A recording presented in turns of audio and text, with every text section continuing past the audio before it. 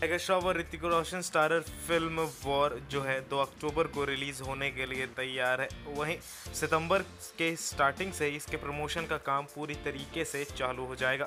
आपको बता दें कि इसका ट्रेलर जो है इसी महीने के एंड के आसपास या फिर आपको नेक्स्ट मंथ की फ़र्स्ट वीक में देखने को मिल जाएगा। दोस्तों, इसके ट्रेलर को लेकर फैंस के बीच में बहुत ज़्यादा एक्साइटमेंट है। लेकिन हम बात करने वाले हैं इस फ़िल्म के बारे में। बात कर रहे हैं टाइगर श्रॉफ के अपोजिट एक्ट्रेस के बारे में, जहाँ वानी कपूर टीजर से पता चलता है कि वो ऋतिक रोशन के अपोजिट नज़र आएँगी। वहीं टाइगर श्रॉफ के अपोजिट कौन सी एक्ट्रेस होगी, इस बात का अभी तक खुलासा नहीं हुआ है।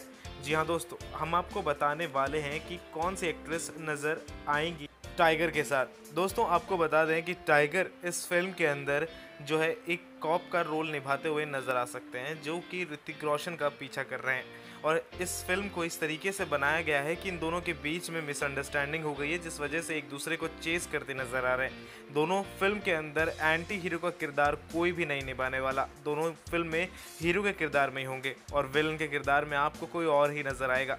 वहीं बात करें इसकी लव स्टोरी की तो लव स्टोरी लव ट्राइंगल हो सकती है, जहाँ वानी कपूर, ऋतिक रोशन और साथ ही साथ टाइगर श्रॉफ के साथ भी नज़र आ सकती है। क्योंकि इस फ़िल्म के अंदर टाइगर श्रॉफ के अपोजिट अब कोई भी एक्ट्रेस नहीं दिखाई गई। इससे साफ़ पता चलता है कि ये फ़िल्म इन तीनों के ऊपर बेस्ड होने वाली है। अब देखना दिलचस्प रहेगा कि ये एक लव ट्रायंगल होता है या फिर एक मिस्ट्री दोस्तों, आप कितना एक्साइटेड हैं वॉर के लिए और इसके ट्रेलर के लिए, हमें कमेंट करके अपनी राय ज़रूर बताएँ। सब्सक्राइब करें, देखो देखो, जुड़े रहे हमारे साथ, क्योंकि ये मिलती है आपको बॉलीवुड से जुड़ी हर खबर सबसे पहले।